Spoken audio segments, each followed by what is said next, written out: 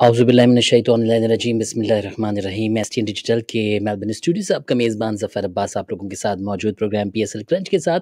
तमाम दोस्तों तमाम चाहने वालों को खुश आमदीद कहेंगे प्रोग्राम में दीदा दिल फर्श रहा किए हुए। कराची स्टूडियो से अगर मैं आपके साथ मौजूद हूँ यकीन मैं तनहा नहीं हूँ। मेरे साथ सॉरी मेलबर्न स्टूडियो से तो कराची स्टूडियो से हमारे बिल्कुल मेहमान नुमान नुमानुल्लाह और तारिक हारून मौजूद हैं। अस्सलाम वालेकुम। वालेकुम अस्सलाम। वरहमतुल्लाह कैसे हैं? अल्हम्दुलिल्लाह, मेलबर्न की फ़ज़ा में आप लोगों को खुश आमदेद कहते हैं। नाजरीन, प्रोग्राम है बिल्कुल जी पी एस एल क्रंच और मैं आपके साथ मौजूद ज़फ़र अब्बास और हमारे साथ मौजूद बिल्कुल जी नुमानुल्लाह और तारिक हारून कराची से और हमारी गुफ्तु रहेगी यकीनन आज के मैच, जो होने वाला मैच है, उसके हवाले से और जो कल मैच हो के गुजर चुका है, उसके हवाले से जो कि कल मैच हुआ बारह फरवरी को इस्लामाबाद यूनाइटेड और कोयटा ग्लेडिएटर्स के दरमियान थोड़ा सा उसका हाईलाइट देते चले, फिर हम तारिक और नुमान की तरफ़ बढ़ेंगे आके कि अट्ठारह एटीन ये अठारहवा मैच मैच था जो कि टॉस कोयटा ग्लेडिएटर्स ने जीता और फील्डिंग की उन्होंने चूज़ किया फील्डिंग को और फिर इस्लामाबाद को उन्होंने पेशकश की बैटिंग करने की। इस्लामाबाद यूनाइटेड ने एक सौ निन्यानवे रन बनाए आठ विकटों के नुकसान पर और कोयटा ग्लेडिएटर्स को जो टारगेट मिला वो दो सौ का मिला, लेकिन उन्होंने टारगेट जो बनाया वो दो सौ तीन, पाँच विकटों के नुकसान पर। इस तरीके से ग्लेडिएटर्स जो हैं वो पाँच विकटों से जीते और जिसमें दो बॉलें जबकि बाकी थीं। तो इस हवाले से आज ये कल का मैच था और जैसे कि नुमान और तारिक से हमारी गुफ्तु कर रही कि यकीन उन लोगों ने सपोर्ट किया था आ, जो जिस टीम को जिस तरीके से इस्लामाबाद को और वाकई इस्लामाबाद बहुत अच्छा खेल रही थी लेकिन ये अच्छा चेंज है ये बहुत अच्छा चेंज है और इसी चेंज के हवाले से आज हमारी गुफ्तु भी रहेगी। तारिक और नुमान से सबसे पहले नुमान से पूछे नुमान कैसा रहा कर का मैच और आप क्या कहेंगे इसके बारे में? अच्छा देखें आ, हमने एक ये जो पिच थी ये डिफरेंट पिच थी। और इस पिच पे बैटिंग ट्रैक नज़र आया हमें हमें। और दूसरी इनिंग में भी ज़बरदस्त बॉल बैट पे आ रही थी। अच्छा हम्म। इसमें थोड़ा सा इस्लामाबाद के कप्तान जो हैं उनकी कप्तानी में थोड़ा सा फॉल्ट नज़र आया हमें। और जब आपके एक आपने नया बॉलर कराया था जीशान जमीर को उनसे आपने एक ओवर कराया जबकि उस क्रूशल मौके पे उन्होंने एक ओवर में सात रन दिए। और उसके बाद देखें आप उसके पंद्रह ओवर में उन्होंने सात रन दिए फिर उसके बाद वसीम से ओवर कराया जिसमें उन्होंने सत्रह पंद्रह सत्रह रन दिए तो देखें लेकिन जब हम्म। मेरा कहने का मकसद ये है कि जब आप वसीम ने पहला ओवर किया था पंद्रह ओवर से पहले की बात पे आता हूँ जब उन्होंने पहला ओवर किया उसमें अपने पहले ओवर में तेईस रन दिए तो जब आपको बॉलर का रिदम का पता चल जाता है कि यार इस वक्त बॉलर रिदम में नहीं है तो आप अपने नए नए जो बॉलर है उस पर भी रिलाई कर सकते हैं लेकिन जब मैच खत्म हुआ और शादाब खान ने ये कहा कि जी मैंने रिलाई किया अपने सीनियर बॉलर्स पे बात ये नहीं होती बात ये होती है कि आपको मैच के दौरान कौन सा अच्छा बॉलर बॉल कर रहा है उस वक्त सिचुएशन के हिसाब से तो आप डिसीज़न ले रहे हैं। अच्छा ये नए बॉलर वाली बात देखें उस बच्चे में एबिलिटी थी तो इस्लामाबाद ने उसको पिक किया। उसके बाद उसमें एबिलिटी थी तो आपने मैच खिलाया। तो उससे पूरा एडवांटेज लेना चाहिए था जो यहाँ पे फुकदान हमें नज़र आया शादाब खान की तरफ़ से। और प्लस हसन अली जो है इस वक्त इस टूर्नामेंट के अंदर बहुत सक्सेस नहीं रहे हैं। ये स्ट्रगल करते रहे हैं। हमने देखा है पूरे टूर्नामेंट के अंदर एक आध मैच में उनकी अच्छी परफॉर्मेंस रही है। बाकी मैचों में इन्होंने रन दिए तो इन इनको भी आखिर में इस्तेमाल गलत किया गया है शादाब की तरफ़ से। तो ओवरऑल मैच इनके हाथ में था इस्लामाबाद में। के हाथ में मैच था। लेकिन मैं इसमें फिर क्रेडिट सरफराज को भी दूँगा। उन्होंने ज़बरदस्त बैटिंग की फिनिश किया। फिर प्लस उमर अकमल जो इतने अरसे बाद मैच में आए हैं उन्होंने ज़बरदस्त बैटिंग की। तो थोड़ा सा बॉलिंग में मैं कहता हूँ कि बॉलिंग गलत हुई है और राइट एरियाज़ में बॉल नहीं हुआ है जिसकी वजह से ये स्कोर चेज हो गया है। जी। जी तारिक आप क्या कहेंगे इसके बारे में? यकीन आप इस्लामाबाद की तरफ़ थे और इस्लामाबाद को आपने सपोर्ट भी किया था लेकिन ज़ाहिर मैच अच्छा खेलते खेलते कुछ भी चेंजेस आ सकती है। आपका क्या ख्याल से क्या आ, क्या सिचुएशन थी या क्या गलती थी? ऐसी कौन सी मिस्टेक थी? देखिए ब्रीफली वजाहत कर दी है नुमानुल्ला ने जो सेकेंड इनिंग में मिस्टेक्स की हैं इस्लामाबाद यूनाइटेड ने और शादाब खान ने। पहली इनिंग को जबकि इतना अच्छा इन्होंने फिनिश किया इनिंग को आप देखिए। कि आठवें नंबर के प्लेयर ने पचास फिफ्टी रन रन किए हैं तकरीबन कोई अट्ठाईस बॉलों पे। आउटस्टैंडिंग इनिंग खेली है फहीम अशरफ ने। आप देखिए कि बहुत ज़्यादा स्ट्रगल कर रही थी। छह आउट हो गए थे एक सौ तीस पैंतीस के अराउंड और लास्ट फाइव ओवर्स में आ, इतना इतना ज़्यादा स्कोर कर देना हम एक्सपेक्ट ही नहीं कर रहे थे। फिर एक टीम जो इतना अच्छा फिनिश कर जाए अपनी पहली इनिंग को और जहाँ पर वो 160-70 के लिए स्ट्रगल कर रही हो फिर 200 रन बोर्ड पे लगा दे। फिर उससे इस तरह मैच हारना जो है ना वो मैं समझता हूँ कि बहुत ज़्यादा डिसअपॉइंटिंग है। दूसरी जानब आप ये देखिए कि मिस्टेक्स क्या किए हैं वो तो नुमानुल्लाह बता ही चुके हैं। तो अब देखिए हम्म। आप बॉलर खिला रहे हैं वर्ल्ड कप खेल कर आ रहा है एक यंगस्टर और वहाँ भी वहाँ भी अच्छी बॉलिंग की है। फिर आपने उसे मौका दिया मौका दिया तो आप उसे फिर पूरे ओवर्स तो दें। अगर वो रन खाता है तो फिर भी समझ में आती है कि यंगस्टर है अभी उसने पहला मैच खेल रहा है उस पर दबाव है उसने रन खा लिए जबकि उसने एक ओवर में सात रन दिए। तो ये कुछ मिस्टेक्स हैं। दूसरी तरफ़ अगर देखा जाए कि जो कोयटा का रिप्लाई था वो आउटस्टैंडिंग था। बहुत ही आउटस्टैंडिंग ओपनिंग पार्टनरशिप हुई। जैसन रॉय उस दिन जैसा तो नहीं लेकिन काफ़ी हद तक उनका जो जो स्टार्ट था वो उसी तरह का था। पहले ही पावर प्ले में जो है वो जो आस्किंग रेट था उसको बिल्कुल नौ रन के नीचे ले आए थे। आसान कर दिया था बाकी बैट्समैनों के लिए, लेकिन एक मौके पे शादाब खान ने बहुत उमदा स्पेल किया। उनकी बॉलिंग की बदौलत तीन विकेट्स भी ले गए रन भी नहीं दिए। मुश्किल में घिर गई थी कोयटा ग्रेडिएटर्स लेकिन जो उनकी, जो सीक्वेंस थी, जो बैटिंग ऑर्डर था, सरफराज ने बहुत अच्छी इनिंग के लिए एज ए कैप्टन खड़े रहे नॉट आउट गए। बत्तीस बॉलों पे पचास। और लेकिन मैं समझता हूँ जो जैसे जो लक चल रहा है इस वक्त कोयटा ग्लेडिएटर्स का जैसे ही रॉय आए हैं पिछले मैच में वो पहला ही मैच खेले हम एक्सपेक्ट नहीं कर रहे थे उन्होंने मैच विनिंग नॉक खेली। कल भी बहुत अच्छा खेले लेकिन आ, कल जो है उमर अकमल भी अपना पहला मैच खेले हैं आप देखें। और उन्होंने जो है वो जो क्रूशल टाइम पे आठ बॉलों पे सात बॉलों पे उन्होंने तेईस रन जो बनाए हैं वहाँ से मैच जो है वो आसान कर दिया कोयटा ग्लेडिएटर्स के लिए। और मैं समझता हूँ कि कोयटा ग्लेडिएटर्स का अच्छा खेलना कम बैक करना इस टूर्नामेंट में खुशाइन है। और हम भी यही चाहते हैं एज अ क्रिटिक्स के क्रिकेट अच्छी हो। अपनी जो सीक्वेंस है जो कंपोजिशन है बैटिंग की बॉलिंग की वो बेहतरीन होनी चाहिए। एक या दो टीम्स क्यों बेहतरीन कर रही हैं? ये छह की छह टीमें बेहतरीन करें। अनफॉर्चुनेटली कराची किंग्स जो है वो किसी कदर भी बिल्कुल ही सुन चल रही है मैं कहूँगा। उनको तो बिल्कुल ही भी नहीं गए एटलीस्ट इन पाँच टीमों ने आज जलमीज ने भी जो है मैच विन किया है। तो एटलीस्ट पाँच टीमों में जो कंपटीशन है ये बहुत खुश आएगी। जी। नाजी जो कल का मैच था जो खेला गया यकीन कोयटा ग्लेडिएटर्स इस्लामाबाद के दौरान के दरमियान, जो उसमें बेस्ट परफॉर्मेंस जो की बैटर्स के अंदर उसमें एडी हेल्स एडी हेल्स थे। इसके अलावा फ़हीम अशरफ एडी हेल्स और फ़हीम अशरफ दोनों के दोनों इस्लामाबाद यूनाइटेड से। 62 रन बनाए हेल्स ने, और 38 बॉल्स के ऊपर चार चौके और चार छक्के मारे। इसके अलावा फ़हीम ने 55 रन 28 बॉल्स के ऊपर इसने फाइव चौके, पाँच चौके और छः चक्के मारे। इसके अलावा बॉलर्स में अगर आ जाए, शादाब खान की इस्लामाबाद यूनाइटेड से, जो थे, बहुत अच्छी परफॉर्मेंस परफॉर्मेंस रही चार ओवर में उन्होंने पच्चीस रन दिए, तीन विकटें हासिल की। इस तरह शाहिद आफरीदी के थे चार ओवर और उन्होंने सत्ताईस रन देके दो विकटें हासिल की। ये बहुत अच्छी परफॉर्मेंस थी शाहिद आफरीदी की। अच्छा यहीं पे शाहिद की जब बात हो रही तो नुमान, आप कहेंगे इन्होंने bowling bowler as a bowler तो बहुत अच्छी परफॉर्मेंस कर रहे हैं ये। तो एज अ बैट्समैन अभी तक इनकी परफॉर्मेंस में वो बात नहीं आ रही है। तो आप क्या कहेंगे इसके इनको क्या करना चाहिए आने वाले वक्तों में? देखिए एज अ बैट्समैन जब इनकी एक तो नंबर इनका बड़ा नीचे है और इनकी बैटिंग अभी तक नहीं आ रही है और बॉलिंग में इन्होंने इम्प्रूव किया है। देखें मैंने पहले भी कहा था बड़े प्लेयर हैं ये कम करना जानते हैं तो उन्होंने बड़ा अच्छा कम किया है कोयटा ग्लेडियर्स के लिए। और शाहिद की में भी प्रैक्टिस करेंगे और फॉर्म में आ जाएँगे। देखिए, जब आदमी बाहर बैठ के सिनेरियो को देखता है मैच को देखता है तो थोड़ी सी फॉर्म ऑटोमेटिक आना शुरू हो जाती है, फिर प्रैक्टिस करता रहता है।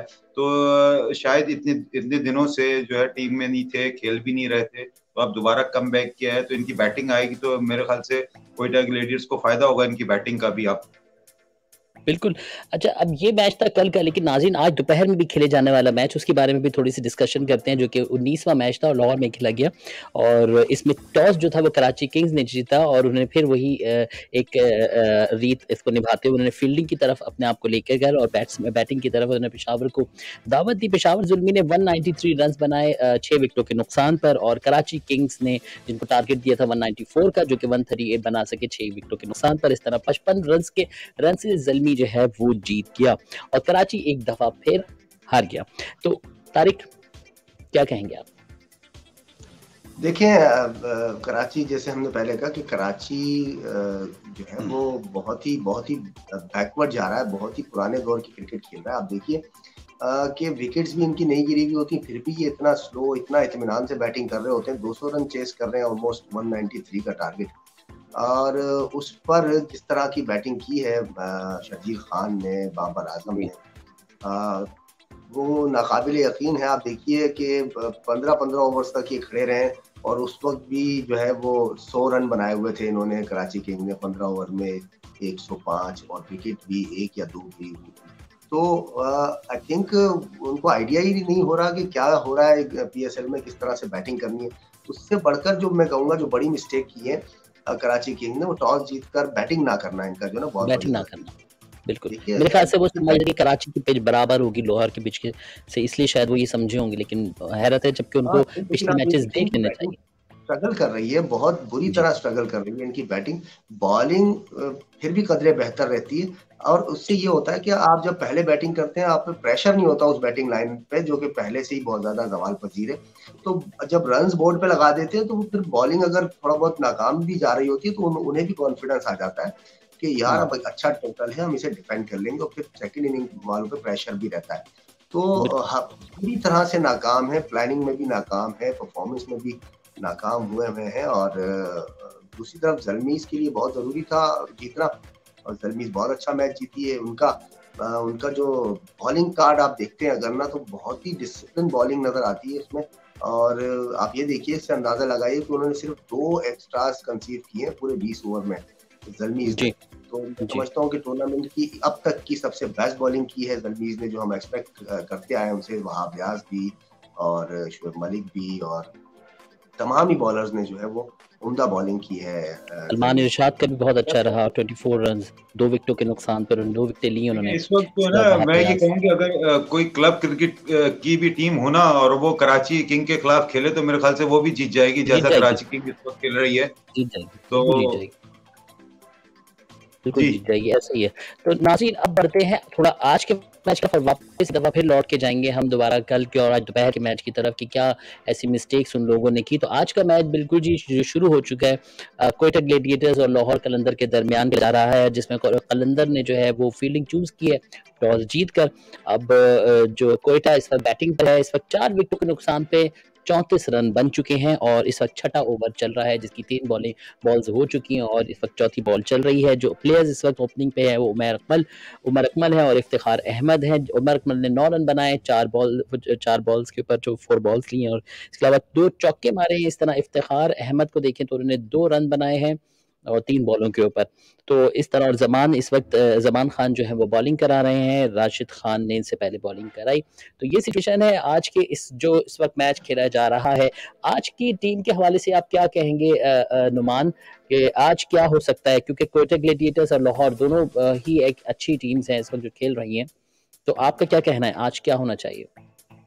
अच्छा देखें लाहौर ने भी अच्छा कम किया है पिछले मैच में और कोयटा ने भी अच्छा कम किया है। दोनों टीमों ने अच्छा कम किया है। लेकिन देखें, हम पिछले मैच की थोड़ी सी बात करेंगे। ये इस वक्त पिच जो है, जो पिछला मैच हुआ है, जिसको हमने देखा है कोयटा और इस्लामाबाद का, उसमें पिच बहुत ज़बरदस्त थी हार्ड पिच थी और बॉल बल्ले पे इजी आ रहा था। तो अभी जैसे हमने पिच देखी नहीं है तो इसमें थोड़ा सा स्ट्रगल कर रही है कोयटा की टीम इस वक्त। जारी बात है चार विकेटें गिर गई हैं। लेकिन देखें 2020 में यही होता है कि दो पार्टनरशिप है। एक पार्टनरशिप आपको स्कोर को कहीं से कहीं ले जाती है। तो आई होप कि कोयटा कम करने करना जानती है और इस वक्त मुश्किल में ज़रूर है कोयटा की टीम लेकिन अगर कोयटा अच्छा स्कोर करने में कामयाब हो जाती है तो अच्छा मैच देखने को मिलेगा। बिल्कुल। तारिक आप क्या कहेंगे आज के मैच के हवाले से? तो क्या सिचुएशन बन सकती है? बताएँगे कि क्या स्कोर ओवर स्कोर क्या है विकेट्स कितनी गिर गई हैं और टॉस कौन जीता है? मैं बिल्कुल मैं बिल्कुल बताता हूँ आपको। कोयटा ग्लेडिएटर्स और लाहौर के दरमियान जो मैच खेला जा रहा है उसके अंदर कलंदर ने जनाब टॉस जीता है और फील्डिंग को चूज़ किया है और दावत दी है इन्होंने लाहौर को लाहौर कलंदर्स को। लाहौर कलंदर ने फ़ील्ड जीती है टॉस जीता मुझे आपने कंफ्यूज कर दिया लाहौर कलंदर ने टॉस जीत के फील्डिंग चूज़ की है और ग्लेडिएटर्स को उन्होंने बैटिंग के लिए कहा है फील्डिंग पे बैटिंग के लिए। तो कोयटा ग्लेडिएटर्स की इस वक्त चार विकेटें गिर चुकी हैं और जिनका 39 रन इन्होंने बनाए हैं और ये छठा ओवर इनका चल रहा है। 39 रन चार विकेटों के नुकसान पर कोयटा ग्लेडिएटर्स के। जी, बहुत ही तशवीशनाक सिचुएशन है इस वक़्त। इसका मतलब है क्योंकि कोयटा जो कि हम देखते आ रहे हैं कि वो पसंद करता है रन चेज़ करना और उनकी बैटिंग उस तरह से रिस्पॉन्ड भी कर रही थी। एक तो वो टॉस हार गए और फिर टॉस हारने पर उसके बाद सोने पर सुहागा ये हुआ कि कलंदर्स ने उनकी चार विकेट्स अहम विकेट्स भी ले उड़े जो कि ऊपर से परफॉर्मेंस कर रहे थे हर मैच में।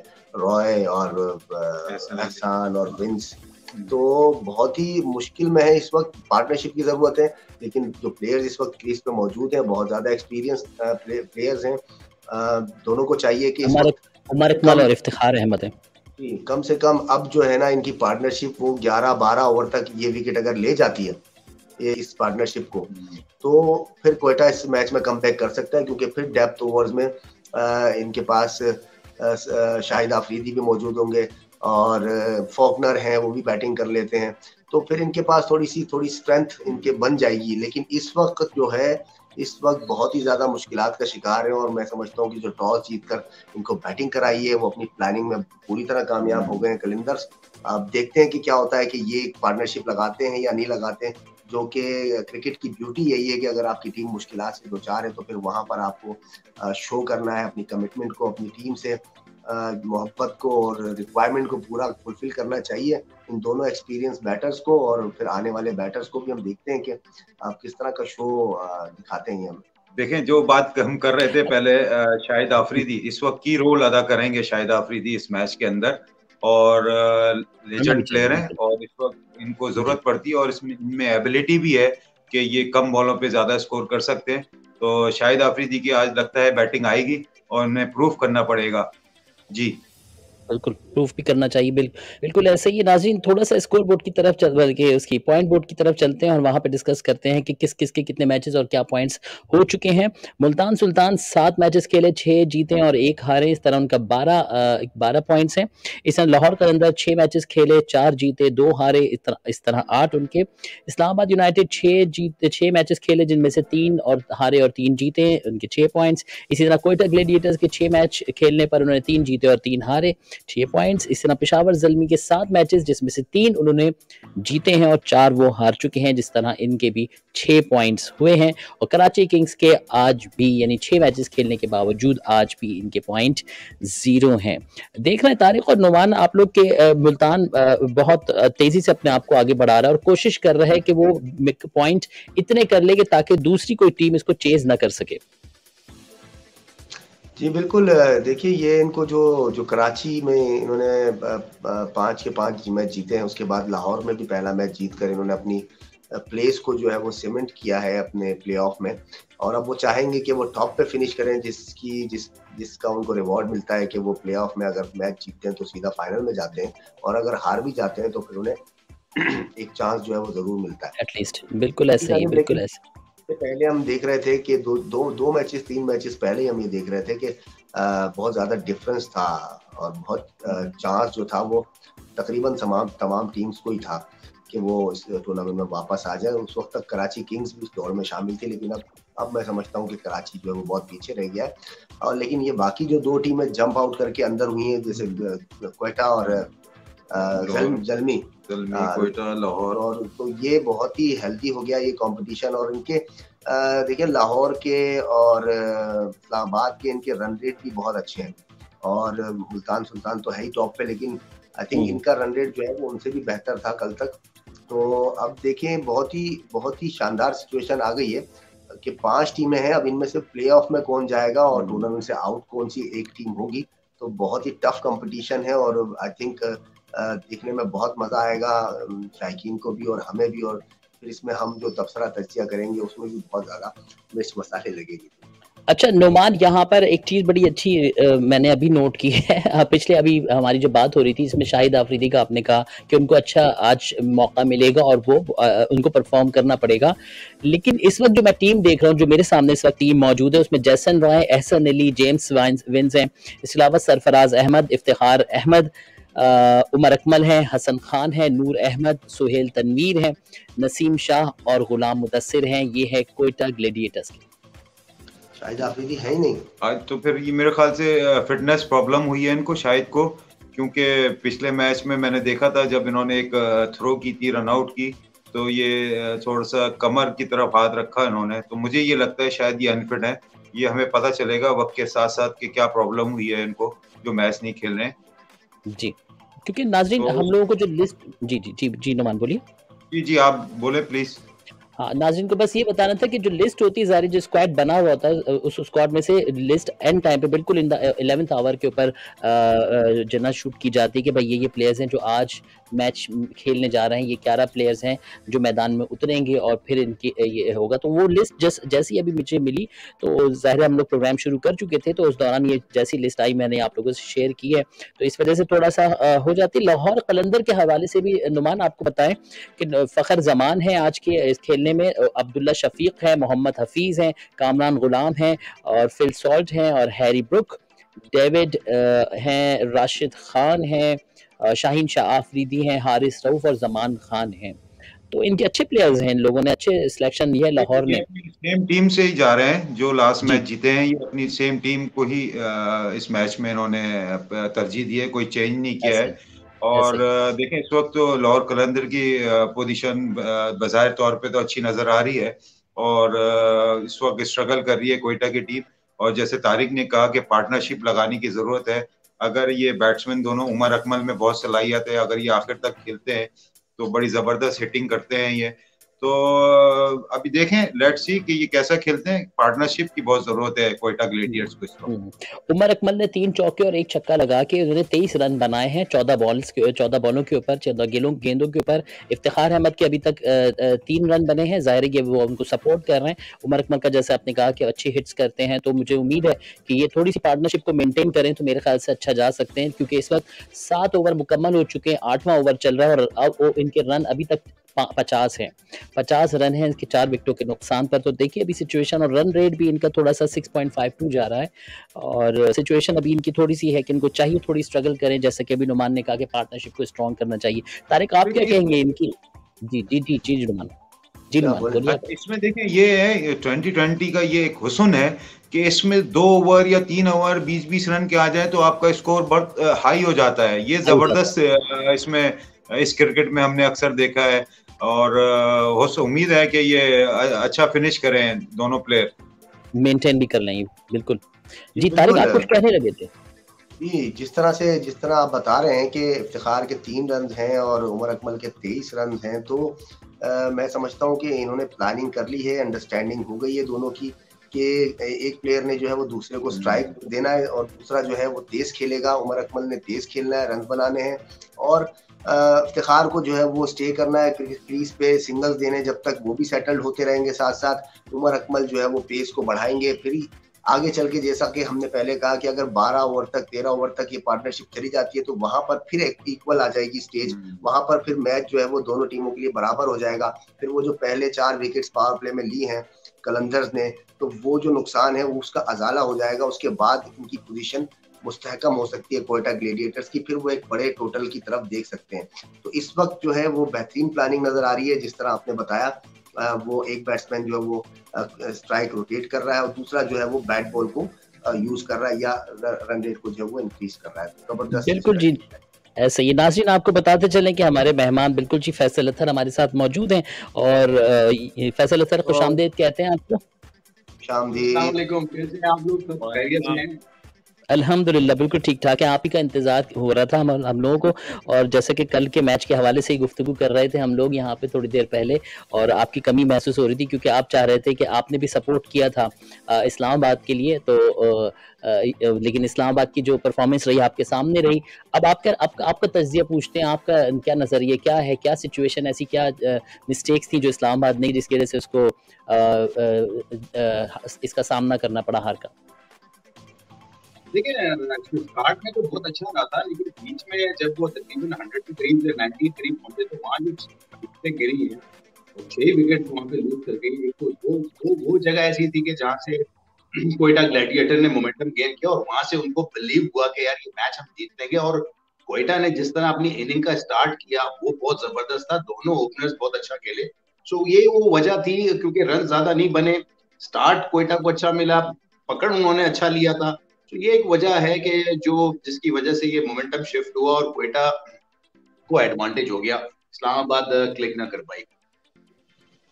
बिल्कुल जी अच्छा ये फ़सल इससे पहले थोड़े आप लेट हो गए हमने डिस्कशन किया था। इसमें देखें शादाब की थोड़ी सी कप्तानी पे भी सवाल उठते हैं कि जब वसीम ने पहला ओवर किया उसमें उन्होंने तेईस रन दिए ठीक है? उसके बाद यंग बॉलर है जीशान जमीर। उन्होंने पंद्रहवा ओवर किया मैं देख रहा था मैच पंद्रहवा ओवर किया उन्होंने उस ओवर में सात रन दिए ठीक है? उसके बाद इन्होंने क्या किया शादाब खान ने उसको फिर वसीम जूनियर से ओवर कराया जिसमें उन्होंने पंद्रह सोलह रन दिए। फिर उसके बाद उन्होंने हसन अली से ओवर करा लिया जिसमें उन्होंने अठारह रन दिए। तो जब एक नए बॉलर को आपने खिलाया तो उसे इस्तेमाल भी पूरा करना चाहिए। ये आपने एक ओवर दिया और मैं देख रहा था जितनी अच्छी बॉल बच्चे ने की है, यंग बच्चा है, उन्नीस साल का बच्चा है, उसने बड़ा ज़बरदस्त ओवर किया था उस टाइम पे। तो फैसल, ये आप इस पे क्या कहेंगे? नहीं, इसमें कोई शर्त नहीं है कि यंग प्लेयर है, एक तो आप उसके ऊपर ज़्यादा आपको समटाइम कॉन्फिडेंट नहीं होता और टी ट्वेंटी क्रिकेट इतना तेज फॉर्मेट है, अगर पैनिक बटन ने वंस दब जाए तो तो बहुत मुश्किल हो जाता है आपके डिसीज़न पे भी इफ़ेक्ट हो जाता है। सो उन्होंने तो ज़ाहिर हसन अली को लेके आए थे तो हसन अली पे एक्सपीरियंस है एक्सपीरियंस प्लेयर है। उन पर ट्रस्ट भी ज़्यादा किया जा सकता है और इतने लगता नहीं था कि वो इतने आराम से रन दे देंगे बट वो डिसीज़न थोड़ा गलत हुआ। लेकिन ज़ाहिर टीम कैप्टन सारे इसीलिए डिसीज़न लेते हैं। तो कोई भी वहाँ पे हो कि वो बेस्ट हो जाए और उनके फ़ायदे में हो जाए लेकिन समटाइम रिस्पॉन्ड नहीं हो पाता। तो ये एक चीज़ थी। हाँ आप सही कह रहे हैं कि अगर वो, वो जो मैच जिस तरह चल रहा होता है और जिस वक्त जो प्लेयर परफॉर्म कर रहा होता है या रिस्पॉन्ड कर रहा होता है, आप उसी के साथ जाओ तो ज़्यादा बेहतर होता है कि कभी कभार ये आपका फेलियर हो जाता है कि यार आप वेट को देखकर आप चेंज कर लेते हो अपना डिसीज़न ये बात सही कह रहे हैं आप, ये थोड़ा मिसिंग था। नाजरीन आप लोगों की मैसेज की तरफ़ बढ़ते हैं मैसेज जो हम तक पहुँचे उमैर बिन आमिर हैं वो सलाम अर्ज़ करते हैं और वालेकुम अस्सलाम उमैर और कहते हैं कि प्रोग्राम बहुत अच्छा जा रहा है और तारिक हारून नुमान और फैसल की गुफ्तु से हमें बहुत कुछ सीखने को मिलता है। बिल्कुल जी ऐसा ही है बिल्कुल टैलेंटेड लोगों के साथ बैठेंगे तो यही होगा फ़ायदा होगा। और फिर आ जाते हैं उनके रिकॉर्ड मैसेज है वो अच्छा सवाल उन्होंने पूछा है नुमान तारिक और फैसल वो सवाल है उसका जवाब मेरे ख्याल से हम जाते हुए देंगे लेकिन उमैर आप प्रोग्राम में मुस्तकिल साथ रहिएगा इसका क्योंकि इन्होंने एक टिप पूछी है कहते हैं कि मेरा क्वेश्चन है कि मुझे off spin off spin bowling करने, खेलने में थोड़ा प्रॉब्लम होता है, खेलने में। खेलने में थोड़ा प्रॉब्लम होता है, हो रहा है। आई नीड योर टिप्स तो ये टिप जो है, मेरे ख्याल से हम लोग आखिर में जाते हुए देंगे ताकि आप को बहुत अच्छे तरीके से समझा भी सकें, क्योंकि इस वक्त मैच की डिस्कशन है तो उसके उसके दौरान शायद आप इतनी चीज़ें क्लियर ना हो। जाते हुए जो हमारा सेशन है टिप्स देने का तो आज हम उसमें इस आपके सवाल को ज़रूर शामिल करेंगे। इस वक्त जो सिचुएशन है मैच की, ये बता दें चलें कि फिफ्टी थ्री रन हो चुके हैं, इन्होंने जो है जो जॉस, जैसन रॉय ज़ाहिर कि वो आउट हुए एहसन अली आउट हुए, जेम्स विन आउट हुए। सरफराज अहमद भी आउट हो गए इस तरह। अब इफ्तार अहमद और उमर अकमल, इन दोनों की पार्टनरशिप चल रही है। इफ्तार अहमद ने पाँच रन बनाए और उमर अकमल के पच्चीस रन हैं अट्ठारह गेंदों पर। तो इस वक्त इन दोनों की पार्टनरशिप है। बॉलिंग जो बॉलिंग ज़ाहिर के इस वक्त जो चल रही है लाहौर की है। लाहौर कलंदर्स हैं। और देखें इस वक्त क्या सिचुएशन बनती है। उन्होंने बिल्कुल मैच को रोका हुआ है। फिफ्टी थ्री रन हैं जो कि दसवां ओवर चल रहा है। दो, नौ ओवर मुकम्मल हो चुके हैं। जी फैसल, आप क्या कहेंगे? देखें इस वक्त सिचुएशन लाहौर ने बहुत मेरे ख्याल से बहुत स्ट्रिक्ट इन्होंने अपनी फील्डिंग रखी हुई है। उनके रन भी इतना बढ़ने नहीं दे रहा है। दस ओवर तकरीबन दसवां ओवर चल रहा है इनका और पचास run fifty two fifty three run है। जी बिल्कुल ठीक कह रहे हैं कि पिछला मैच भी हमने देखा तो पहली इनिंग में प्रॉब्लम हुई है। बैटर्स भी स्ट्रगल करे और विकेट्स भी अर्ली ऑन विकेट्स भी बहुत जल्दी लूज हो गई थी। सो वहाँ बॉलर्स डोमिनेट कर रहे थे और इस मैच में भी एग्जैक्टली exactly, एग्जैक्टली यही हो रहा है। चार खिलाड़ी आउट हो चुके हैं तिरपन रन पे जैसे आप बता रहे हैं। सो इस मत, इसका मतलब ये है कि पहले ये जो पहले बैटिंग कर रहे हैं तो थोड़ा सा प्रॉब्लम हो रहा है। बाद में शायद ड्यू फैक्टर है तो आसान हो रहा है बैटिंग कंडीशन में फ़र्क आ रहा है। ये एक आधा रीजन हो सकता है और जैसे नुमान तारिक और हम लोगों का एक्सपीरियंस रहा है कि अगर पहला मैच हो रहा है ये उसी पिच पे तो वो समटाइम डिफ़िकल्ट होता है। थोड़ा सा शायद तो उसमें ज़्यादा वो मॉइस्चर होता है तो कभी जब वो सूख रहा होता है तो डबल पेस विकेट हो जाता है तो बल्ले पे गेंद नहीं आती। और टी ट्वेंटी में आपको पता है ऑल टाइम बैटर्स जो है, वो सोच रहे होते हैं कि यार हम बिग हिट्स करें और इजी रन दे जाए। ये थोड़ा सा फेवर में जा रहा है बॉलिंग के। तो अब सेकेंड इनिंग का देखना है कि रिस्पॉन्ड कैसा होगा, कलंदर कैसा रिस्पॉन्ड करेगा। ये चीज़ देखना पड़ेगी कि फैसल, इसमें एक चीज़ ये जैसे कल 200 पे 200 चेज हुए हैं तो कल हमने पिच का जो बिहेवियर देखा है, वो जरा सा बैटिंग ट्रैक रहा है सेकंड इनिंग में भी। तो बड़े ज़बरदस्त बॉल बल्ले पे आ रहा था और शॉट्स भी इजीली लग रहे थे। इस पे आप क्या कहेंगे? नुमान, आप सही कह रहे हो, ये दसवां, ग्यारहवां ओवर जब हुआ था, तब भी वहाँ पे विकेट्स लूज हो गई थी इस्लामाबाद की। लेकिन लेटर ऑन जाकर इस्लामाबाद ने कोप अप किया था और हम समझ रहे थे कि शायद डेढ़ सौ रन करेंगे, वो दो सौ रन ज़ाहिर है दो सौ से ज़्यादा रन कर गया और ये कमाल इस पीएसएल में देखा है कि जो टीम पहले बैटिंग करते हुए दो सौ रन कर रही है, वो टीम हार जाती है और सेकंड टीम चेस कर जाती है सो आई थिंक शायद कंडीशन का भी मामला है कंडीशन की तरफ़ ही हम जाएँगे, दूसरी तरफ़ हम नहीं जाएँगे कि इतने ज़्यादा रन करके आप डिफेंड नहीं कर रहे हो और उससे कम रन को आप डिफेंड कर पा रहे हो हम्म। बिल्कुल ऐसा ही बिल्कुल ऐसे ही। 203 रन बना के वो लोग जीते थे मैच को। अच्छा तारक आप आप क्या समझते हैं? अच्छा कि यही बात अगर हम लोग, जैसे शाहिद आफरीदी की अभी बात हो रही थी कि फैसल आज मैच में शाहिद आफरीदी नहीं है तो क्या समझते हैं उसका, उनका असर मतलब एक ज़ाहिर की मौजूद ना होना, एक सीनियर प्लेयर का मौजूद ना होना, कुछ टीम पे असर पड़ेगा कुछ मैच के अंदर? क्योंकि आज शाहिद नहीं खेल रहे हैं टीम में टीम में नहीं लिस्ट में नहीं है आज उनका नाम। डेफिनेटली शायद अफरीदी जिस तरह जो नाम है, जो वेट है उनका, वो बॉल अगर पकड़े, तब भी इफ़ेक्टिव हो जाते हैं। और जब बैट कर बैटिंग करने आते हैं तो उस वक्त भी इफ़ेक्टिव हो जाते हैं। टीम का असर ज़रूर पड़ेगा। आपको पता अभी मैं इतफाक से देख ही रहा था कि वो इंजरी जिस तरह हुई है और वो अपने फैंस के साथ भी बात कर रहे थे कि इंजरी की वजह से वो दर्द में भी काफ़ी अरसे तक खेलते रहे। तो अब उनको वो कह रहे थे कि माजरा चाहता हूँ। हाँ टीम पे डेफिनेटली असर पड़ेगा, क्योंकि कॉम्बिनेशन अगर एक या दो प्लेयर्स भी आपके चले जाते हैं तो वो टूट जाता है। तो समटाइम्स आपको बड़ा शायद अफरीदी तो आपको पता है कि वो ऐसे प्लेयर्स हैं कि अगर वो बैटिंग पे जाते हैं तो वन साइडेड इधर मैच कर सकते हैं। तो उनके साथ होप्स और बहुत ज़्यादा होती है। सो so, अब देखना है कि उनकी रिप्लेस पे वो कौन बेटर है मैं इस वक्त देखा नहीं है कि वो किसको उन्होंने रिप्लेस किया है शायद अफरीदी की जगह लेकिन अगर वो होते तो बेटा ग्लैडिएटर को ऐसा होता ज़रूर। हम्म, तारिक आप कुछ पूछने जा रहे थे? जी जी अच्छा, जी मैं एक सवाल एक फैसल बात यह है कि जैसे आज कराची ने भी वही काम किया जो इस्लामाबाद ने काम किया। कराची ने भी एक ऑफ़ स्पिनर खिलाया कासिम जी। जी कासिम को के कैप्टन जो थे वो Qasim. Batting allrounder batting allrounder है कासिम को उन्होंने एक ओवर कराया उन्होंने सात रन दिए एक विकेट हासिल की। अब बात ये होती है कि फैसल जब बोर्ड पे 193 रन लगे हुए हैं तो इट्स मींस कि आपके दूसरे बॉलर्स ने गंदी गंदी बॉलिंग की है। जब एक बॉलर अच्छी बॉल कर रहा है, उसने एक ओवर में सात रन देके एक विकेट लिया, उसको बकाया मानदा ओवर्स कराने चाहिए। चाहे यंग प्लेयर्स हो, कुछ भी हो यार। अब जैसे देखें, कोयटा ग्लेडियर ने कल वो एक चाइना मैन बॉलर खिलाया था, अफ़गानिस्तान का यंग अंडर नाइनटीन था। उन्होंने उससे पूरे ओवर करा।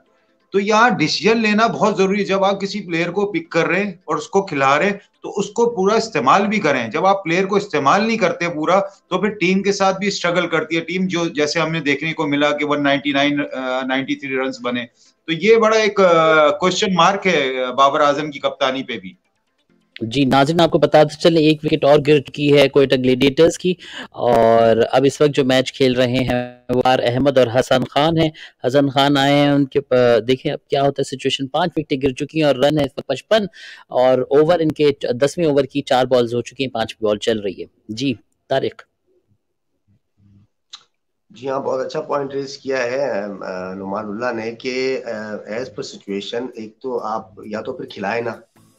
एक बच्चे को आपने स्क्वाड में रखा है, न सिर्फ़ स्क्वाड में, फिर आपने प्लेइंग इलेवन में डाला है तो फिर उसकी जो स्किल्स हैं, उससे आपको फ़ायदा उठाना चाहिए। फिर आपने मौका भी दिया और फिर उसने कर भी दिखाया।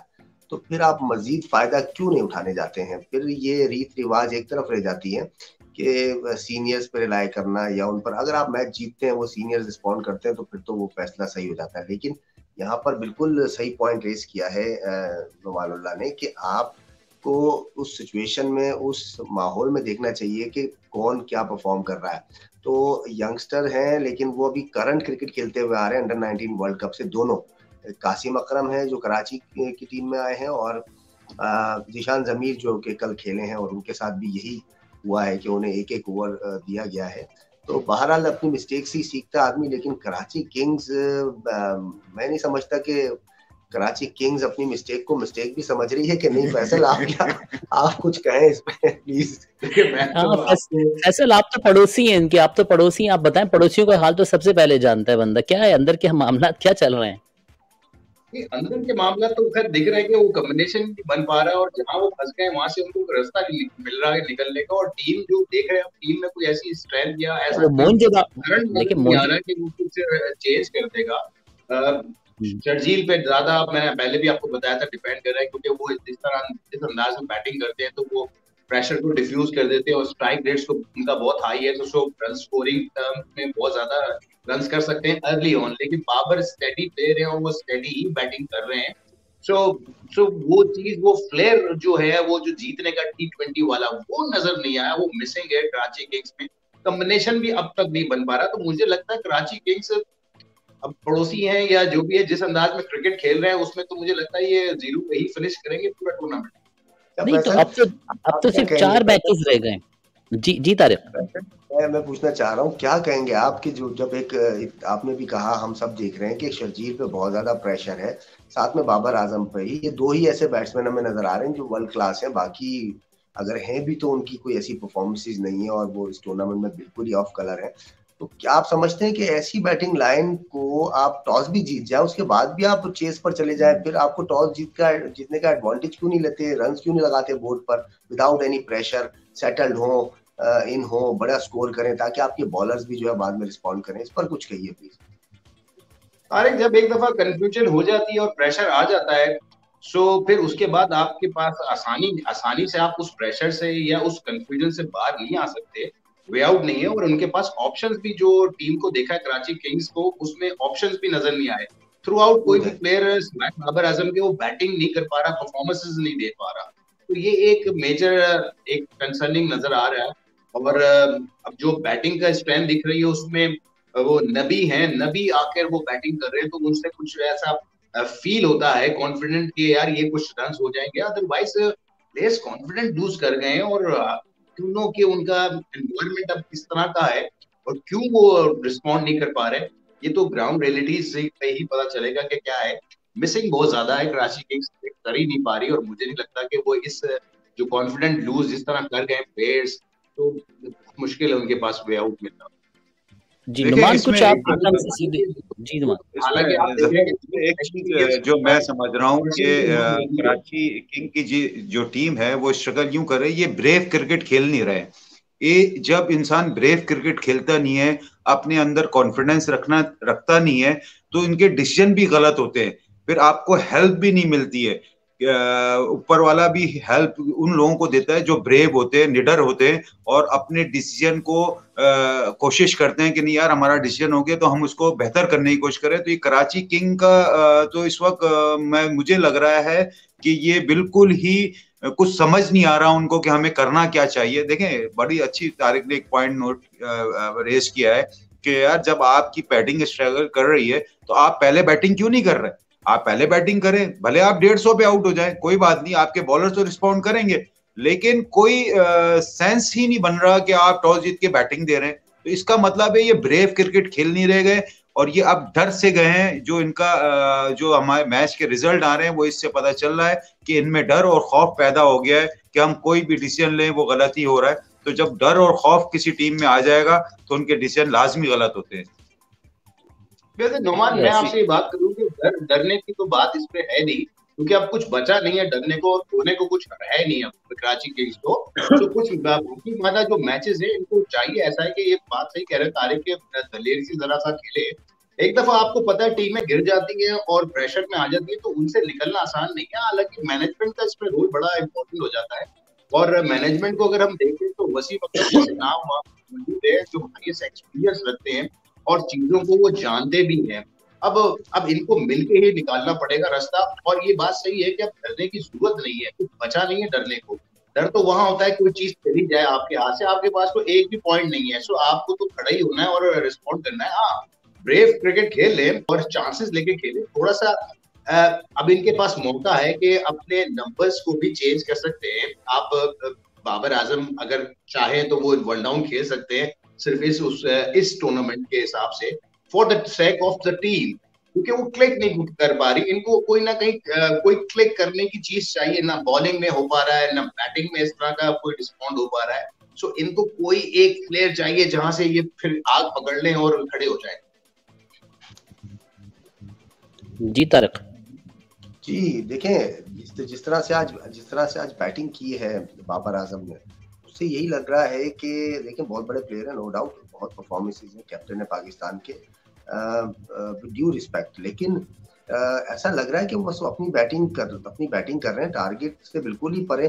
200 रन का टारगेट है ऑलमोस्ट और वो जिस तरह से बैटिंग कर रहे थे, उन्होंने अपने रन किए, फिर उसके बाद जाकर पाँच ओवर में रह गए, नब्बे रन, फिर उन्होंने मारना शुरू किया। तो आपको नहीं लगता ऐसा कि इनकी आपस की जो अंडरस्टैंडिंग है टीम मैनेजमेंट की विद कैप्टन तो वो कहीं डिस्टर्ब तो नहीं है कहीं इनकी आपसी अंडरस्टैंडिंग की वजह से तो वो असरात तो नहीं कहीं टीम पर आ रहे कि इनकी आपस में तालमेल नहीं बन रही कैप्टन कोचिस की और सिलेक्शन कमेटी जो भी इनका थिंक टैंक है, कहीं वहाँ तो भुगतान नहीं आ रहा अंडरस्टैंडिंग का, जो कि आपने अभी कहा कि इनकी अंडरस्टैंडिंग नहीं बन पा रही।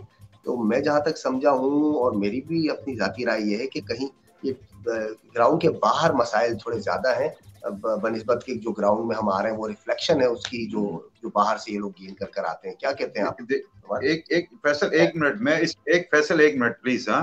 जी जी जी, जी। देखें मैं मैंने जो ब्रेव क्रिकेट की बात की है हम पहले मैच से लेके छठे मैच तक की इनकी वो वो चीज़ ये मिस कर रहे हैं। क्योंकि हमने पहला मैच भी देखा है इनका दूसरा भी देखा है। जितने ये मैच खेल चुके हैं अभी इस टूर्नामेंट में इनकी ब्रेव नज़र ब्रेवनेस नज़र नहीं आ रही, इनके डिसीज़न भी ब्रेव नज़र नहीं आ रहे, जिसकी वजह से हमने ये बात की है कि ये ब्रेव क्रिकेट नहीं खेल रहे हैं। जी फैसल प्लीज़ नहीं, ये बात सही है। जहाँ तक बात ज़ाहिर है इन्वायरमेंट की मैंने आपसे कहा इन्वायरमेंट अराउंड द टीम वो किस तरह का है और वो हेल्दी नज़र नहीं आ रहा प्रेशर है। हाँ एक स्ट्रेटेजी में ये कंसिस्टेंट है कि वो बाबर आज़म के साथ ही जा रहे हैं, उधर से छेड़ा छाड़ी नहीं की और बाबर आज़म भी अपने जो बैटिंग प्लान है, वो भी कंसिस्टेंटली अप्लाई कर रहे हैं। थोड़ा सा उनके अगर स्ट्राइक रेट अर्ली ऑन की हम बात करते हैं तो वो बड़ा बॉल टू बॉल चल रहा है।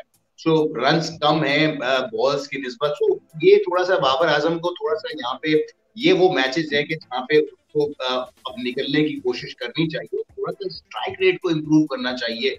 अगर वो बैटिंग टी ट्वेंटी में ही करते हैं तो मेरा मानना ये हाँ इसमें कोई शक नहीं है कि Babar Azam one of the great player है, पाकिस्तान ने जो प्रोड्यूस किया है और रिसेंट एरा के तो खैर, इस वक्त तो वो बैटिंग में बहुत आला बैट्समैन है और आईसीसी के अवार्ड में भी शामिल थे। सो आई थिंक थोड़ा सा बाबर आज़म को ऑल टाइम जब भी आप क्रिकेट खेल रहे होते हैं तो आप अपने आप को पुश करते हो और एनहांस करने की कोशिश करते हो। सो मेरा कहना का मतलब ये है कि कंसिस्टेंट तो वो है।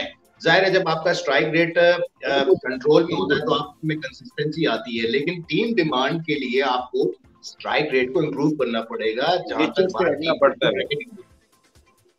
बिल्कुल नेचर से हाँ बिल्कुल ज़फ़र बात ये हो रही है कि देखें जस्टिन रॉय ने एक इनिंग खेली। कोयटा ग्लेडर भी स्ट्रगल कर रहा था बैटिंग के मामले में। वो टीम के हम्म। अंदर आए। आते ही उन्होंने 200 रन छह रन का टारगेट मिला उनकी टीम को।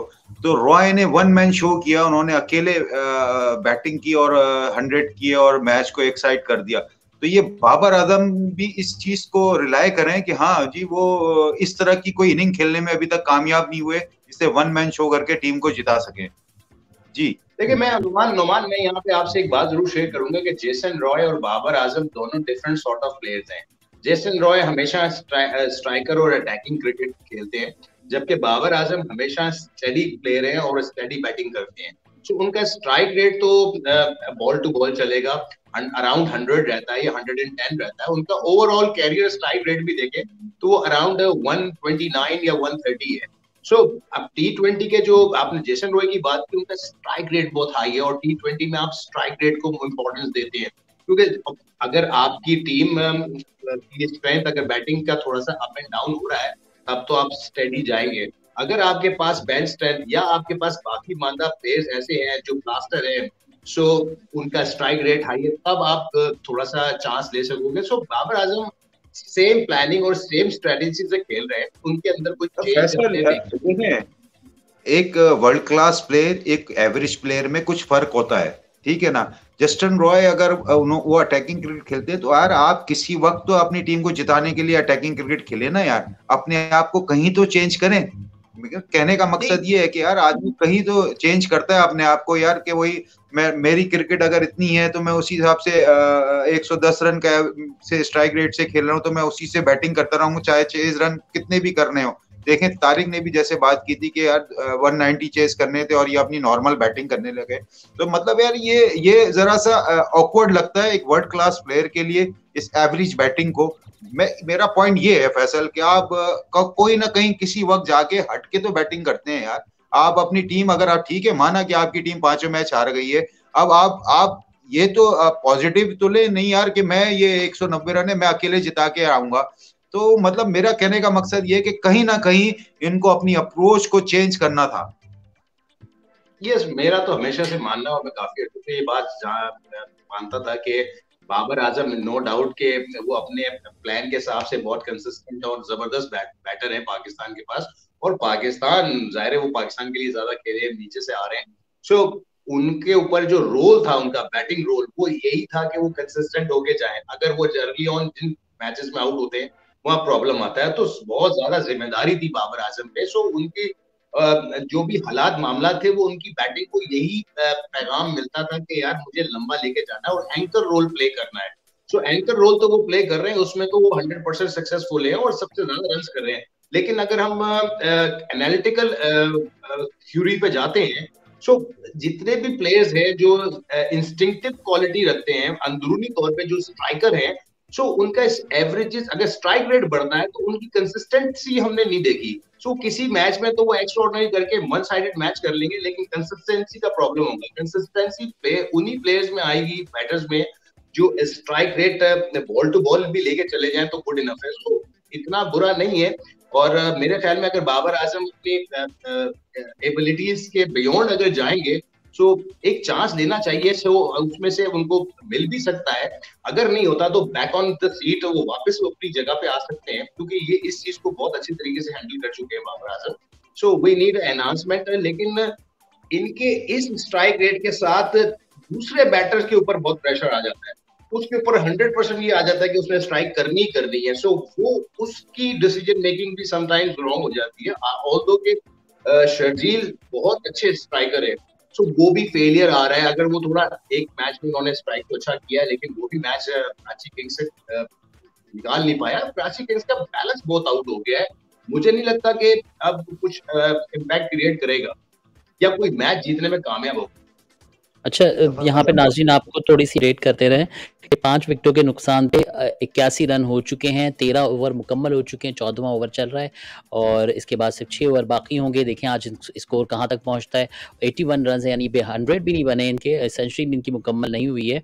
और इस वक्त जो प्लेयर खेल रहे हैं उनके बारे में बताते चले आपको इफ्तार अहमद खेल रहे हैं जिन्होंने पच्चीस रन बनाए तेईस बॉलों पर जिनके एक चौका और एक छक्का। इसके अलावा हसन खान है जो इस वक्त सात रन जिन्होंने बनाए हैं दस बॉलों पर और परफॉर्मेंस इनकी चल रही है इस वक्त। बॉलिंग जो इस वक्त जो आउट हुए शाहिद आफरीदी ने दो विकेटें ली हैं राशिद खान ने एक शाहीन शाह अफरीदी ने सॉरी मास्टर शाहीन शाह अफरीदी ने दो विकेटें ली हैं, राशिद खान ने एक विकेट और डेविड वाइस ने दो विकेट एक विकेट ली है इस तरह ये ये मैच है। अब जब बात शाहिद आफरीदी की मेरे मुँह से निकली तो हम अब बताते चले, एक मैसेज जो हम तक पहुँचा है वही पहुँचा कि Shahid Afridi played the last match of P S L yesterday and played really well and I and I witnessed it it life अच्छा अल्हम्दुलिल्लाह।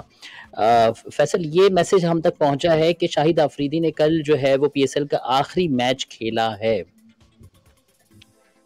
जी हाँ फिटनेस का मसला है शायद अफरीदी का, इसलिए वो कंटिन्यू नहीं कर पाए और उनको अंदाज़ा है कि वो कितने ज़्यादा स्ट्रगल कर रहे थे। सो मैंने आपको पहले भी बताया कि वो, उन्होंने खुद भी ये अपने फ़ैन से बात की है।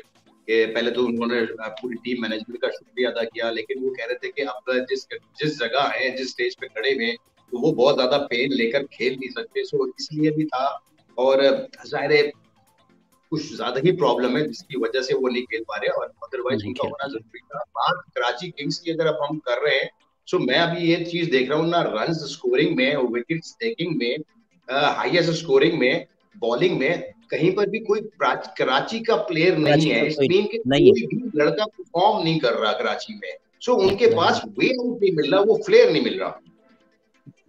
आप ये देखिए कि कल जो कराची, ये जो आज दोपहर में पेशावर जलमी के माबेन जो मैच हुआ है, उसमें भी अगर आप इसकी बेस्ट प्लेयर्स और बेस्ट बॉलर्स की इसकी लिस्ट देखते हैं तो उसमें कराची किंग्स का नाम सिर्फ़ बाबर आज़म और जॉर्डन है, लेकिन ज़ाहिर के बस इन दो की एक परफॉर्मेंस रही ये इंडिविजुअल मैच की बात हो रही है, लेकिन अगर आप ओवरऑल मैच देख रहे हैं तो फैसल आपने बिल्कुल सही कहा कि कहीं उसकी कोई खास परफॉर्मेंस नज़र नहीं आ रही है। तारिक, आप क्या कहेंगे इस बारे में? एक मिनट देखिए मैं, मैं आपको यहाँ पे एक चीज़ और क्लियर कर अभी आप भी देख रहे होंगे कि रन जो प्लेयर्स ने रन किए हैं फखर जमान है वहाँ पर शान मसूद है रिजवान है एहसन अली है और हेल्स आ गए। सो ये पाँच बैटर। में तो कराची किंग का बाबर आज़म जितने कंसिस्टेंट परफॉर्म कर रहे हैं लेकिन वो टॉप फाइव में तो है नहीं वो।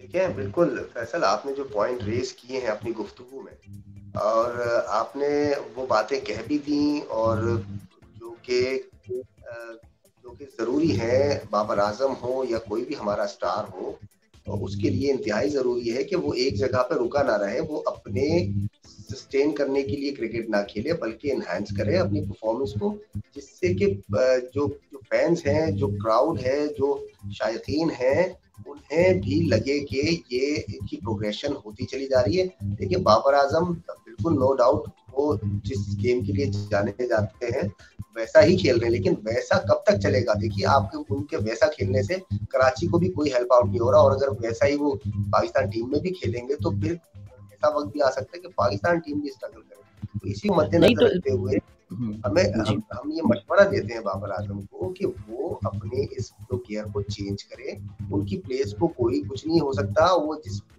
बहुत ही पॉपुलर है वर्ल्ड वाइड और आईसीसी के भी टॉप रैंकिंग प्लेयर हैं, पाकिस्तान के भी टॉप नंबर वन प्लेयर हैं। उन्हें किस चीज़ का प्रॉब्लम है? मैं मैं समझता हूँ मतलब वो किस तरह से सोच रहे हैं कि वो अपनी अंदाज को चेंज नहीं कर रहे, अपने कंफर्ट जोन से बाहर नहीं आ रहे। तो अगर नहीं आएँगे और चैलेंजेस और अपने गोल्स नहीं सेट करेंगे, अपने आप को इन्हेंस नहीं करेंगे, अपने आप को मॉडर्नाइज नहीं करेंगे तो फिर वो पीछे रह जाएँगे। अब हम देख रहे हैं कि जो ब्रेव क्रिकेटर्स हैं जो आपने नाम लिए फैसल जितने भी क्रिकेटर्स आपने नाम लिए जो टॉप लिस्ट पे हैं वो सारे ब्रेव क्रिकेट खेलते हैं वो अपने शॉट्स नहीं छोड़ते वो पावर प्ले का भरपूर इस्तेमाल कर रहे हैं और वो अपना बड़ी मिसाल शान मसूद की देखिए शान शान मसूद की मिसाल देखिए कि वो एक टेस्ट क्रिकेटर होते हुए वो उन्होंने प्रैक्टिस की, मेहनतें बहुत की, अपने गेम को कितना चेंज किया।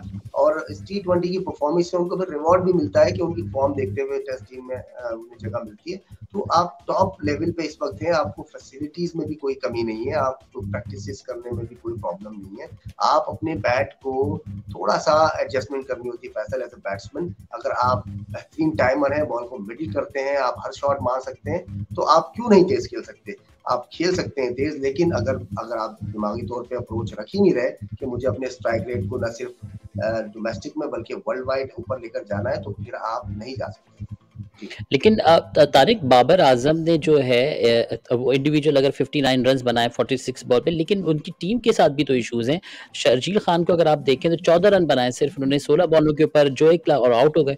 जो एक क्लार्क हैं जो इसके छब्बीस रन 26 बॉलों पे मोहम्मद नबी के पास पंद्रह पंद्रह रन बनाए ग्यारह बॉल्स और अयान कोकबैन जो है उन्होंने चौदह रन बनाए तेरह बॉलों के ऊपर। अनवर यामीन जो है वो छः छः रन बना सके पाँच बॉलों के ऊपर। इंडिविजुअल शर्जील शर्जील को, जहाँ तक मैं समझता हूँ, शर्जील को उसकी नेचर से हटकर उसे कोई प्लान दिया जा रहा है। देखिए सोलह बॉलों पे चौदह रन शर्जील का ये स्टाइल नहीं है। शर्जील अगर अपना गेम खेले, उसे खेलने, खुला खेलने दिया जाए तो मैं नहीं समझता कि शर्जील इस तरह से खेलेगा। और क्योंकि शुरू के मैचेस में हमने विटनेस किया, शर्जील फॉर्म में थे। शर्जील जो कि बड़े बड़ी इनिंग नहीं लगा पा रहे थे लेकिन साठ रन पचास रन वो कर रहे थे। उन्होंने अपनी फॉर्म को शो किया लेकिन बाद में क्या हुआ कि जब वो प्रेशर आया और टीम बिल्कुल ही किसी ने भी परफॉर्मेंस करना जो है वो शुरू नहीं किया फिर उसके बाद मैं समझता हूँ हो सकता है शर्जील से कहा गया हो कि भाई आप भी बाबर आज़म की तरह विकेट पे स्टे करें पार्टनरशिप लगाएँ लंबा खेलें तो ही जाकर जो है हम कोई बड़ा स्कोर कर सकेंगे। तो मैं ये समझता हूँ वरना शर्जील फॉर्म में थे। आप क्या कहेंगे फैसल? जी मैं हमेशा से मेरा इसमें हमेशा से जी जी जी नुमान भाई। जी नुमान नुमान आप एक चीज़ ये कहना चाहता हूँ देखिए जब आप वर्ल्ड क्लास प्लेयर होते हैं जिसमें हमारे पाकिस्तान टीम में हमने देखा सईद अनवर बैटिंग करते थे तो वन मैन शो जब खेलते थे मैच अकेले वन जिताते थे इसमें इंजमाम उल थे मोहम्मद यूसुफ हैं। तो ये लोग थे अब और फॉरनर प्लेयरों की बात कर लें तो रिकी पॉन्डिंग मैच खेला अकेले जिताया गिल क्रिस्ट अकेले मैच जिता दिया और इसी तरह बहुत सारे प्लेयर्स हैं। तो यार जब तक आप अपनी नेचर से हट के बैटिंग नहीं करेंगे तो आप प्लेयर ही आती नहीं है ना। मेरा कहने का मकसद ये जब आप लेजेंड प्लेयर है तो फिर लेजेंड वाली परफॉर्मेंस भी नज़र आनी चाहिए। इसमें एज ए बैटिंग में बहुत सी जगहों पे कराची किंग को चेस करने दे तो वो जब लेजेंड प्लेयर होता है तो वो आपको लाजमी मैच जिताता है यार। ये बात कहने का मकसद मेरा ये है। जी जी। मैं, मैं इसमें, इसमें ज़रूर अपनी इनपुट दूँगा। देखिए कराची किंग्स हार रही है प्रेशर में है। इसका मतलब ये नहीं है कि सारा प्रेशर अगर एक लड़का रन कर रहा है, बाबर आज़म को उस पर पुट ऑन कर दें ये मेरे ख्याल में अनफेयर होगा थोड़ा सा हाँ टीम फॉर्मेशन जब होती है तो आपको पता होता है कि कौन सा प्लेयर किस नेचर का है और किस अंदाज में खेलता है, उसके साथ आप बनाते हैं। बाबर आज़म और शर्जील के बाद कोई ऐसा परफॉर्मेंस नज़र नहीं आई। तो बाबर आज़म जिस तरह के, जिस जिस क्वालिटी के प्लेयर्स हैं, यानी कि इंस्टिंक्टिव क्वालिटी नहीं है कि वो स्ट्राइकिंग करें, वो स्टडी है। उनके साथ फॉर्मेशन में सर्जील और एक दो स्ट्राइकर और होने चाहिए थे। मेरे ख्याल में हेल्थ भी कराची में थे, अगर मुझे याद पड़ता है, वो अभी शिफ्ट हुए हैं। सो एक स्ट्राइकर आप टीम फॉर्मेशन में भी मिस हुआ, एक दो प्लेयर्स आपको और लेने थे। तो टीम फॉर्मेशन भी थोड़ी सी वीक नज़र आई है इस साल।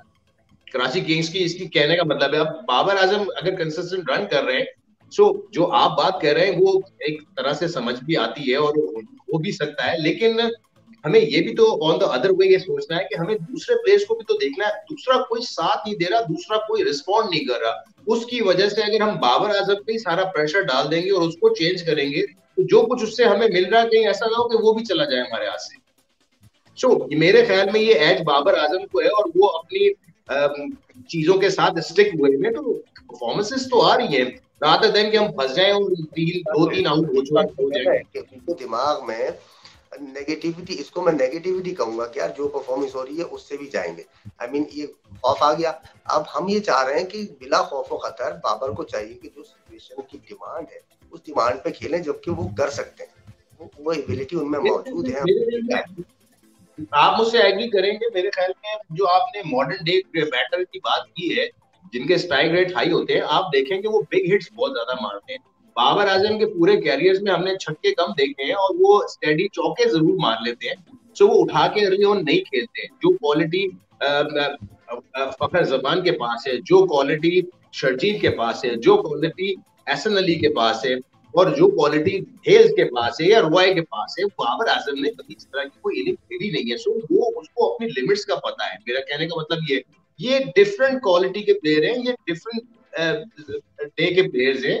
सो वो चेंज मुझे नहीं लगता कि वो चेंज कर पाएँगे और इसको काबू कर पाएँगे। बहुत मुश्किल होगा ये चीज़। सो इस वजह से मैं कह रहा था कि जो चल रहा है वो बुरा नहीं है। जब तक वो खुद नहीं चाहेंगे कि मैं अपने आप को चेंज करूँ तो कोई चेंज नहीं करवा सकता ना आप ना मैं ना ही वो टीम मैनेजमेंट तो ये उनकी अपनी चॉइस है तो ज़ाहिर है वो अपनी चॉइस के साथ जाएँ और लेकिन जो भी इन फ्यूचर आएगा कामयाबी आती है या फेलियर आता है उसकी ज़िम्मेदारी वही है जो कि अब करंटली आ ही रहा है। बहरहाल चले चेंज करते हैं टॉपिक को। टॉपिक को चेंज करते हैं और बताते हैं कि पाँच विकेटों के नुकसान अभी तो पाँच विकेटें चल रही हैं और इस वक्त जो रन है वो 93 रन बने हैं और पंद्रहवें ओवर मुकम्मल हो चुका है पंद्रहवा ओवर पाँच ओवर बाकी हैं आखिर के और 93 रन इनके हैं और अब जाने से पहले ज़ाहिर वक्त अब मुकम्मल हो चुका है हमारे मतलब पूरा आज अच्छा खासा तवील गुफ्तु भी रही और अच्छा लगता है आप लोगों तक इन्फॉर्मेशन पहुँचाते हैं। तो आज की टीम आप क्या कहते हैं जो लाहौर कलंदर और कोयटा के दरमियान जो मैच है कौन किसको सपोर्ट करेगा? पहले बढ़ते हैं हम नुमान की तरफ़। देखें इस वक्त कंडीशन के हिसाब से तो कोयटा स्ट्रगल कर रही है। लेकिन देखें इसमें ये बात ये कि हम पिच रिपोर्ट भी नहीं देख पाते कि पिच इस वक्त क्या कह रही है, कि पिच की कंडीशन क्या हो रही है। ये हमें भी अब देखना पड़ेगा जब टॉस होता है, उससे पहले हम पिच की रिपोर्ट भी हैं तो पिच से भी बड़ा आइडिया मिल जाता है। तो अगर अभी अभी कंडीशन हमें नहीं पता चल रही कि क्या हो रहा है, क्या ब्रेक ज़्यादा हो रहा है या बॉल फंस के आ रहा है, जो जिससे अर्ली ऑन विकटें गिरी है तो हम अभी इसमें ये काम भी करेंगे, हम पिच रिपोर्ट भी देखेंगे ताकि हमें और तजिया करने में मैच में आसानी हो। तो मैं तो इस वक्त जो कंडीशन मैच की चल रही है तारिक वो लाहौर कलंदर इस वक्त फेवरेट नज़र आ रही है तो मैं लाहौर कलंदर की तरफ़ जाऊँगा। बिल्कुल जी आप अगर लाहौर कलंदर की तरफ़ जा रहे हैं तारिक आप किसकी तरफ़ जा रहे हैं? जी बिल्कुल देखिए जो जो कोयटा ग्लेडिएटर्स की जो जो बैकबोन थी जो उनके ओपनर्स खासतौर पर जैसन रॉय वो आज ज़ीरो पे आउट हुए हैं और जो कि अच्छा स्टार्ट उनको पिछले दो मैचेस से दे रहे थे और बिल्कुल आसान करके दे रहे थे उनको आ, मैच की गिरफ्त को जो है उनके बिल्कुल ज़ीरो पे आउट होने पे इतनी बैकफुट पे गई है कि चार विकेट गंवा बैठी और अभी जिसे कहते हैं कि वो रिकवरी पर लगे हुए हैं और रिकवरी पाँच विकेट गंवा बैठी। पंद्रह ओवर्स गुजर चुके हैं। अब यही वो लास्ट फाइव ओवर्स हैं जो कि मैं समझता हूँ कि डिसाइड करेगा कि हु विल विन देखिए ये पाँच ओवर अगर जो बैटिंग कर रहे हैं अपना पिशावर के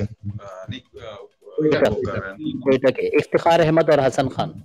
इफ्तार अहमद जो बैटिंग कर रहे हैं। जी हाँ पिशावर से ताल्लुक है कोयटा ग्लेडिएटर्स के। इफ्तार अहमद में एबिलिटी है हमने देखा है कि वो आ, बहुत तेज़ी से रन बना सकते हैं। अगर वो टिल दी एंड खेल जाते हैं और ये बीस ओवर बैट, बैटिंग कर जाती है तो मैं समझता हूँ कि कोयटा का चांस बन सकता है क्योंकि एक सौ एक सौ रन अगर ये कर जाते हैं तो इनिंग को अच्छा फिनिश करने से बहुत ज़्यादा कॉन्फिडेंस आएगा कोयटा को। तो मैं समझता हूँ कि मैं और और, और लाहौर कलंदर बहुत अरसे बाद जो है इस लीग में रन चेस पर जाएगी। बहुत सारे मैचेस से वो इस वक्त डिफेंड कर रही थी रनों को। तो अब उन्होंने रन चेस पर भी जाना है और अर्ली विकेट्स लेकर कोयटा जो है वो इस मैच में वापस भी आ सकती है अगर ये 150 रन को क्रॉस कर जाते हैं तो। तो आप किसको सपोर्ट कर रहे हैं? कोयटा को? सपोर्ट तो मैं कोयटा ही को कर रहा हूँ और करना चाहिए क्योंकि अगर वो कर जाती है पाँच ओवर में साठ रन तो फिर कोयटा जो है वो मेरे मेरी नज़र में फेवरेट हो जाएगी। ठीक है। जी फैसल आपका क्या कहना है? जी मैं लाहौर कलंदर के साथ जाऊँगा। पिछला मैच लाहौर कलंदर हारे हुए हैं और इस मैच में वो पूरी जान मारेंगे और पूरा ज़ोर मारेंगे। कोयटा अच्छा कर रही है लेकिन फंस चुकी है जैसे नुमान ने भी बोला है। और जहाँ ये खड़े हुए मुझे लगता है कि अराउंड 140 140 145 तक पहुँच सकते हैं।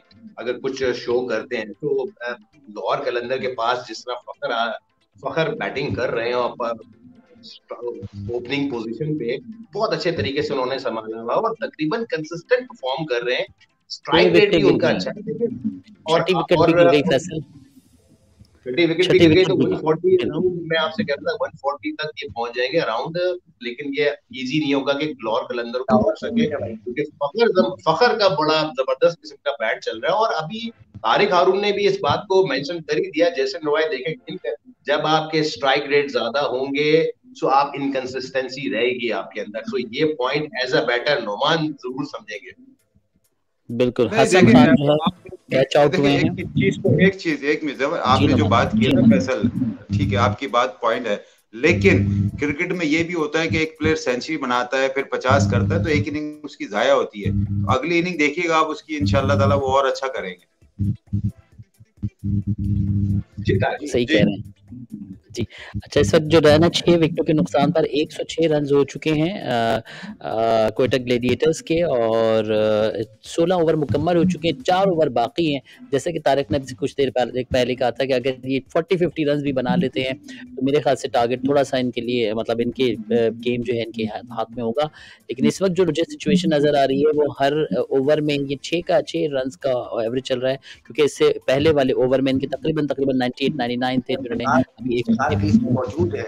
ज़फ़र इफ्तार क्रीज में मौजूद है। आने वाले बैट्समैन बरेबन सुहेल तनवीर होंगे। वो भी बहुत एक्सपीरियंस है और वो चौके लगा सकते हैं। तो अगर ये दोनों इफ्तार खास तौर पर रह जाते हैं बीस ओवर तो कोयटा फेवरेट हो सकती है इस मैच कि कोयटा इसके अंदर वापस लौट कर आ सकी, आ सकती वैसे कोयटा के जारे की सिचुएशन जाने से पहले आपको नाजरीन ये भी बताते चलें कि जो इस वक्त है कोयटा ग्लेडिएटर्स और लाहौर के अंदर, लाहौर के इस वक्त आठ पॉइंट्स हैं, कोयटा के इस वक्त छः पॉइंट्स हैं। तो कोयटा कोशिश कर रही है, कोयटा ज़ाहिर है जैसे कि अभी तारिक ने कहा कि कम बैक हो सकता है उनका।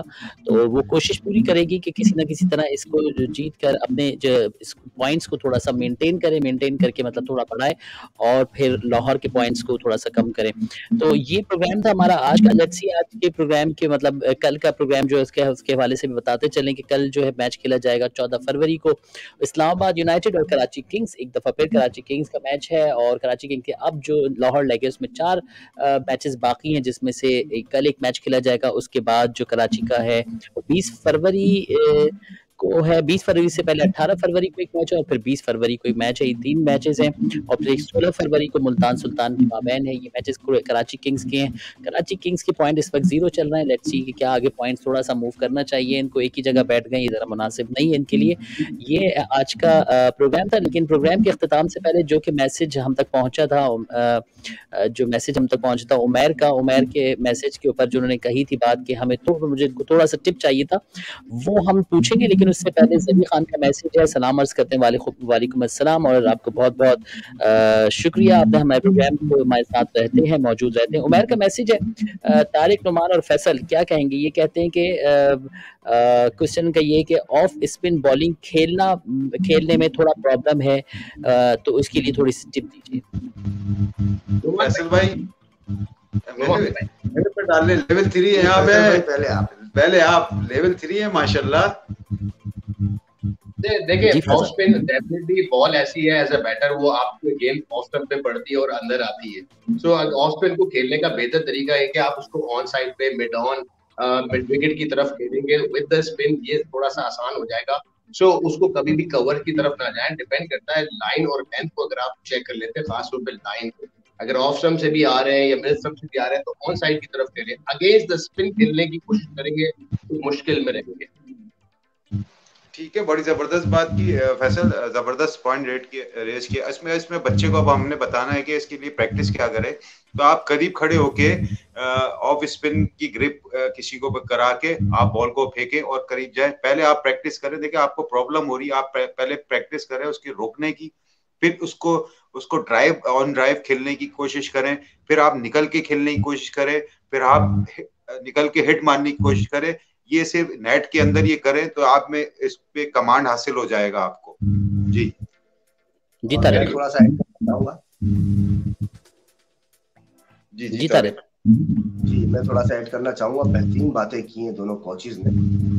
एक चीज़ और मद्देनजर रखिए अगर उस बैट्समैन का किसी भी बैट्समैन का पाथवे बैट का जो पाथवे है अगर वो कीपर के और अंदर से आता है तो वो ऑफ़ स्पिनर पे हमेशा की जो अलाइनमेंट है, जैसे फैसल ने कहा कि ऑफ़ साइड पे वो तभी जाएगा जब उसका बैट इन साइड आउट आएगा।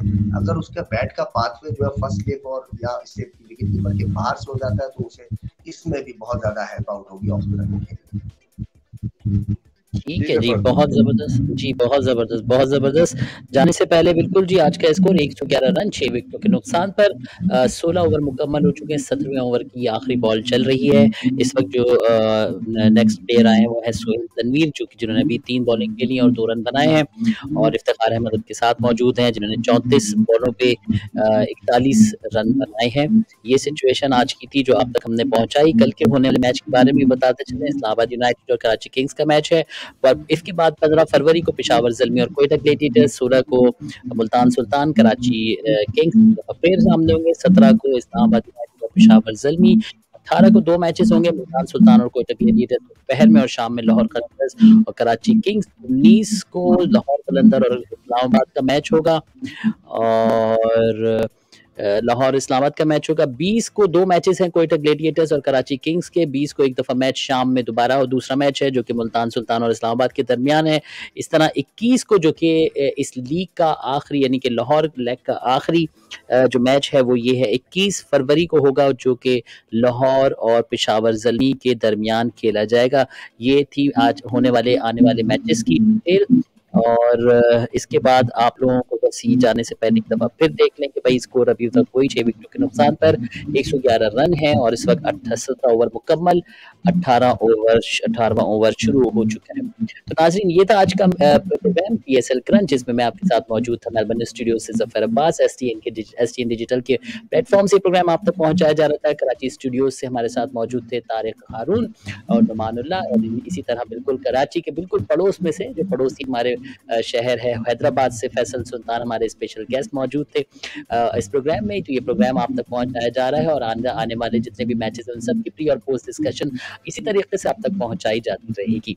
इसी के साथ ही अपने मेज़बान ज़फ़र अब्बास को तारिक हारून नुमानुल्ला और फैसल को दीजिए इजाज़त। उम्मीद के साथ कि आप जहाँ रहेंगे, खुश रहेंगे, अपना बहुत ज़्यादा ख्याल रखेंगे। बिलखसूस उन समातों का जिनकी समातों की जिनके कदमों की आहटें सुनने के लिए हर समात बेकरार रहती है। अल्लाह हाफिज़, फ़ी अमान अल्लाह